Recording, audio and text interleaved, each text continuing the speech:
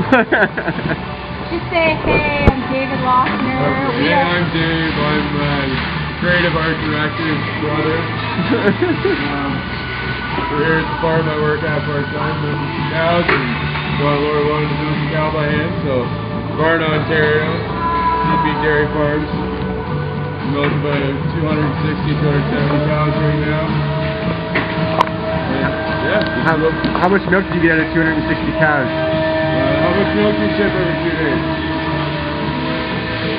How much? Every two days. About ah, 14,000, about 7,000 liters a day. Wow. And that's two milks a day. Two milking a day, yeah. That's a lot of milk. So it is a lot of milk. Here, take a look. This one here, she's at 19.61 liters so far. Actually, kilograms. The kilogram's pretty close to a liter. Wow.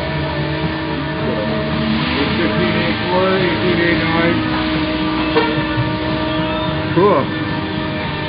Milk gets way through. The cow gets milked underneath there.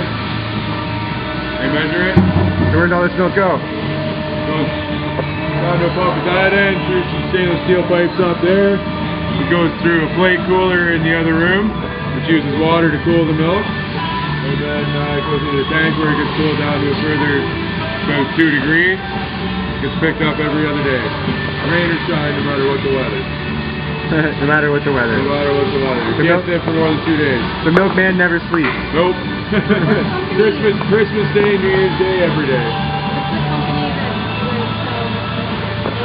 Beautiful. Uh, it's controlled by the dairy board. So it goes to different. It goes to different companies depending on whatever. Right. I gotta know where it goes. Well, what's your They, favorite kind the of milk? companies that buy it pick it up. That you drink? Chocolate milk.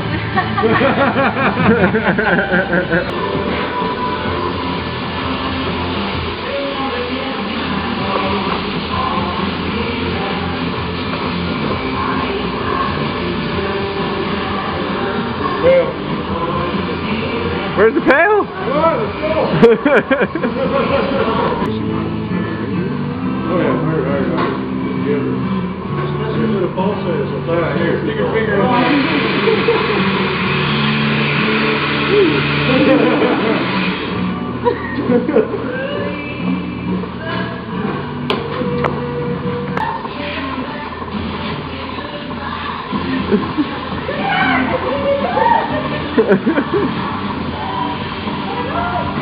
there you go. There you go.